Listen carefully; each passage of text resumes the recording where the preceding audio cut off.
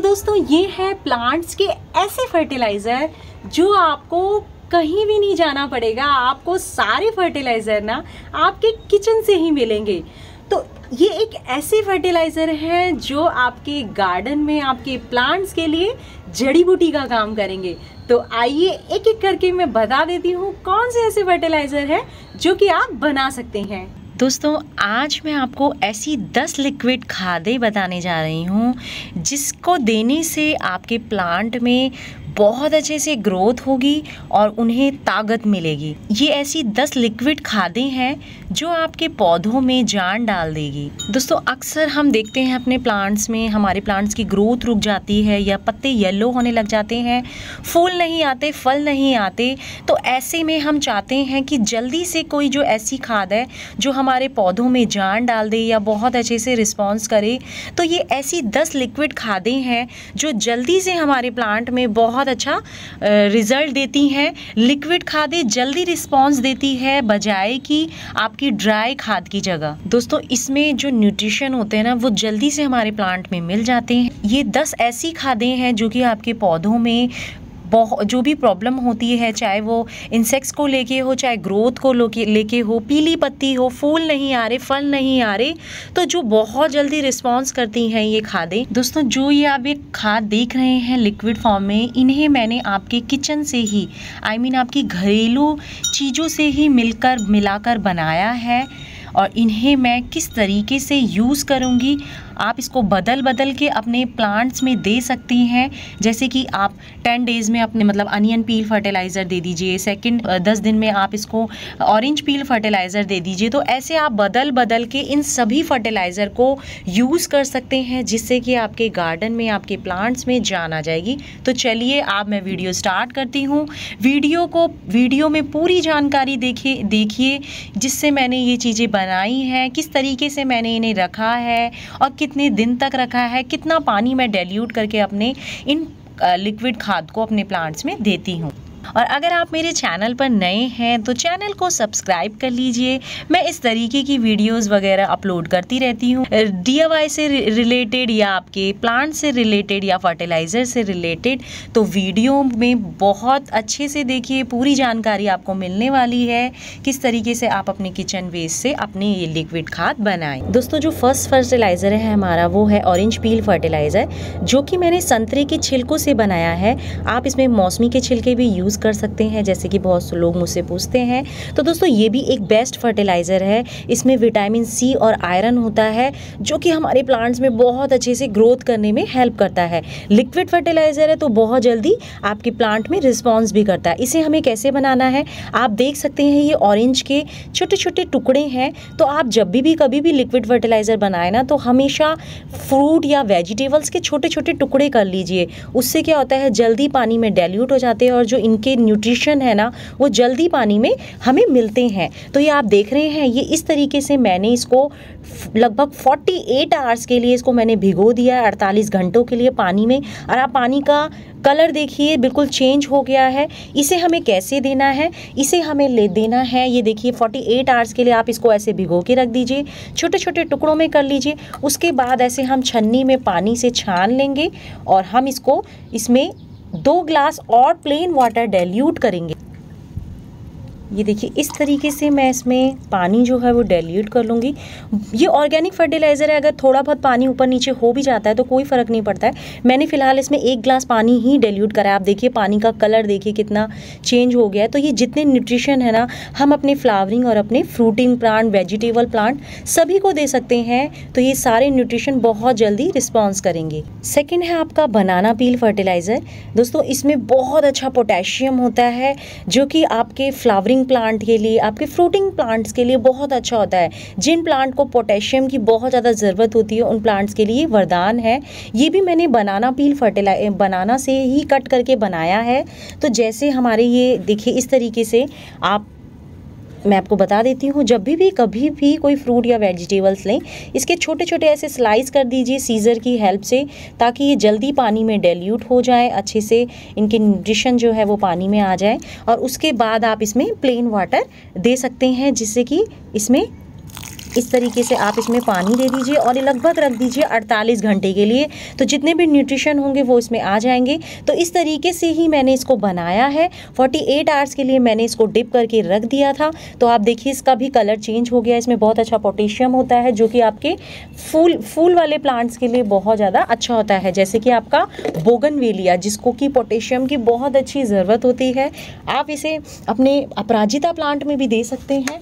तो उसे भी बहुत अच्छा पोटेशियम ज़रूरत होती है तो आप ये देखिए, इस तरीके से हम इसको छान लेंगे छन्नी की हेल्प से और इसमें हम कर लेंगे एक ग्लास पानी और डाइल्यूट तो इस तरीके से आप बिना छाने दोस्तों बिल्कुल यूज़ नहीं करना है, नहीं तो आपके प्लांट में फंगस लग जाएगी। तो हम इस तरीके से इसमें और प्लेन वाटर लगभग एक ग्लास और डेल्यूट कर लेंगे। तो ये हमारा हो गया लिक्विड फर्टिलाइज़र तैयार। नेक्स्ट है दोस्तों आपका ये अनियन पील फर्टिलाइज़र ये भी देखिए, इसका भी ना बिल्कुल कलर चेंज हो गया है। यह है आपके प्लांट में बहुत अच्छा काम करती है। जिन प्लांटों में आपके फूल नहीं आ रहे, उनमें बहुत अच्छे से फ्लावरिंग होगी। अगर आप इस लिक्विड फर्टिलाइज़र का यूज़ करेंगे, दोस्तों मैंने इसको कैसे बनाया है? आप ये देखिए, जो अनियन के जो ये छिलके होते हैं ना, इसकी हमें अंदर वाली परत नहीं लेनी है। हमें इसका ऐसे ड्राई पोर्शन जो बिल्कुल ऊपर वाली लेयर है ना, इस इस चीज़ से हमने इसको मिलकर बनाया है तो इसे आप लगभग 48 आवर्स के लिए इस तरीके से डिप करके रख लीजिए।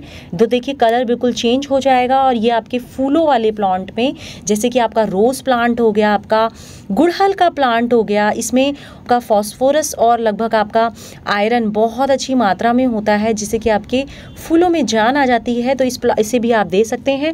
इसे आप ड्राई फॉर्म में भी दे सकते हैं। आप देखिए, आप जैसे सुखा लीजिए ये प्याज के पत्तों को और अच्छे से सुखाने के बाद मैंने मिक्सी में ग्राइंड कर लिया है। लगभग दो दो चम्मच आप अपने प्लांट में दे सकते हैं।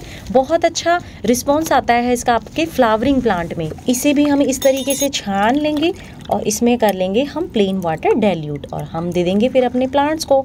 तो ये भी बहुत अच्छा सोर्स है आपका। किचन गार्डन से ही निकला हुआ। तो ये देखिए, ये हमारा लिक्विड फर्टिलाइज़र तैयार हो गया और आपके प्लांट्स में देने के लिए बिल्कुल रेडी है। नेक्स्ट है दोस्तों हमारा टी फर्टिलाइज़र जो कि एम का बहुत अच्छा सोर्स है। हमारे प्लांट्स में बहुत अच्छी ग्रोथ करता है। अगर आपके पास सरसों की खली नहीं है तो आप इसे तुरंत यूज़ कर सकते हैं, क्योंकि टी फर्टिलाइज़र एक ऐसा फर्टिलाइज़र है जो कि हमारे घर में हम बहुत चाय वगैरह पीते हैं। तो जो चाय पत्ती है, वो बच जाती है तो उसे हम कैसे यूज़ करें? तो बहुत ही अच्छा एम का आपका फर्टिलाइज़र है, ये एम का सोर्स सोर्स है। इसे हमें कैसे यूज़ करना है? दोस्तों, आपकी जो चाय पत्ती होती है, यूज़ टी, उसे हमें दो से तीन बार अच्छे से धो लेना है, उसका शुगर, उसका मिल्क निकाल के। और उसमें अगर अदरक वगैरह रह जाए तो कोई दिक्कत नहीं है। मुझे बहुत सारे लोग कमेंट करते हैं कि मैम अदरक रह गया तो दिक्कत करेगा। तो बिल्कुल दिक्कत नहीं करेगा। आप अच्छे से धो लीजिए, दूध और शुगर को अच्छे से वॉश करके, अच्छे से इस तरीके से आप अपने जो चाय पत्ती है, उसको सुखा लीजिए। देखिए, इसका साइज़ भी बढ़ गया है, क्योंकि ये यूज़ टी है। धूप में तीन से चार दिन दिन अच्छे से सुखाने के बाद आप इसे इस तरीके से डाल सकते हैं। अपने एक गिलास पानी में लगभग चार चम्मच डाल दीजिए क्योंकि यूज़ टी है और अगर आप फ्रेश टी यूज़ कर रहे हैं तो दो चम्मच डाल सकते हैं। 48 आवर्स के लिए इस तरीके से भिगो के रखिए और आप देखिए इसका कलर भी चेंज हो गया ये आपके दोस्तों, आपके फ्लावरिंग प्लांट के लिए बहुत ही अच्छा सोर्स है। आप इसमें, आप इसको जैसे आपका गुड़हल का प्लांट है, आपका रोज़ का प्लांट है तो ये टी फर्टिलाइज़र उसमें बहुत अच्छा काम करता है। आपका मनी प्लांट है, इसको उसका स्प्रे करने से बहुत ही अच्छी ग्रोथ होती है। तो ये भी बहुत अच्छा फर्टिलाइज़र है, आपका जेड प्लांट है, इन सब के लिए बहुत ही अच्छा फर्टिलाइज़र है। तो इसे भी हम छान लेंगे छन्नी से।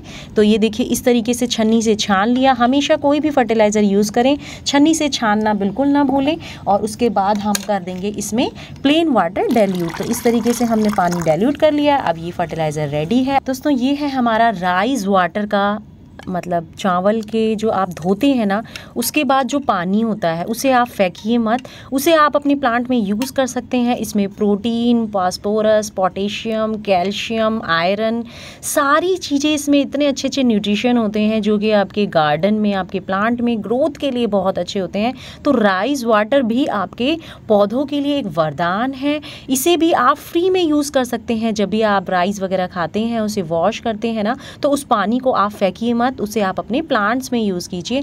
बहुत ही अच्छा रिस्पॉन्स करता है आपके प्लांट्स में। इसे भी हम इस तरीके से देखिए, आप छान लेंगे अपने। ये देखिए, इस तरीके से हमने छान लिया और इसमें मिला देंगे प्लेन वाटर तो ये देखिए तो इस तरीके से आप छान के दिए जिसका, इसका पानी पानी आपको देना है, इसमें हमें प्लेन वाटर डाइल्यूट कर देना है। तो ये भी बहुत अच्छा आपके प्लांट में, आपकी ग्रोथ के लिए, आपके प्लांट की, आपके प्लांट को हेल्दी रखने के लिए बहुत ही अच्छा सोर्स है। दोस्तों, हमारा पोटैटो पील फर्टिलाइज़र जो कि हमारे आलू से मिलकर बना है, आलू के छिलकों को देखिए, ये देखिए, इस तरीके से आप आलू के जो छिलके हैं ना, उसे इस तरीके से 48 आवर्स के लिए भिगो के रख दीजिए। बहुत ही अच्छा फाइबर इसमें होते हैं प्रोटीन होता है, पोटेशियम होता है, बहुत अच्छा सोर्स है आपका ये पोटेशियम का। तो आपको जैसे मैंने बताया, जिन प्लांट्स को पोटेशियम की बहुत ज़्यादा ज़रूरत होती है तो उन प्लांट्स को आप दे सकते हैं। और ये देखिए, आप जितने भी फ्लावरिंग प्लांट हो, फ्रूटिंग प्लांट हो, आपके वेजिटेबल वाले प्लांट हो, आप उन्हें दे सकते हैं। ऑर्नामेंटल प्लांट्स को भी दे सकते हैं, इंडोर प्लांट्स जो आपके होते हैं। तो इस तरीके से देखिए, ये प्लांट का, इसका भी देखिए, कलर बिल्कुल चेंज हो गया है।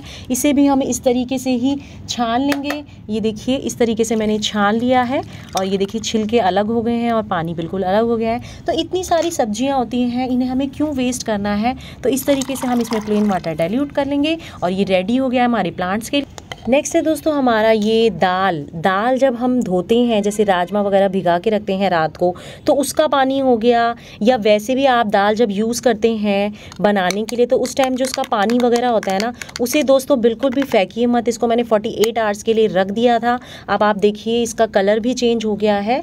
तो मैं इसे भी इस तरीके से ही छान के और पानी डाइल्यूट करने के बाद अपने सभी फ्लावरिंग प्लांट में फ्रूटिंग प्लांट्स में आप इन्हें दे सकते हैं। ये भी बहुत अच्छा आपके प्लांट्स में ग्रोथ करता है, उन्हें ग्रीन रखता है, उनकी स्टैम्प्स को मज़बूत करता है। नेक्स्ट है दोस्तों आपका लहसन का फर्टिलाइज़र दोस्तों ये एक पेस्टिसाइड का काम भी करता है। आपके गार्डन में चीटियों का अटैक है या कोई भी इंसेक्ट्स वगैरह का अटैक है तो आप इस फर्टिलाइज़र को यूज़ कर सकते हैं।